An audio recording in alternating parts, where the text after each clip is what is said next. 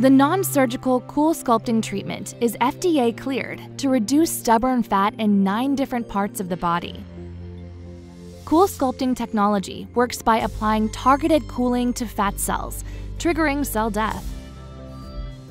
Frozen fat cells in the treated area will begin to be eliminated in the weeks following treatment by the body's own natural processes. There is no harm to surrounding nerves or skin. The result? Up to 20 to 25% fat layer reduction in the treated area. Best of all, once the treated fat cells are eliminated from the body, they're gone for good, all with little to no downtime and no surgery.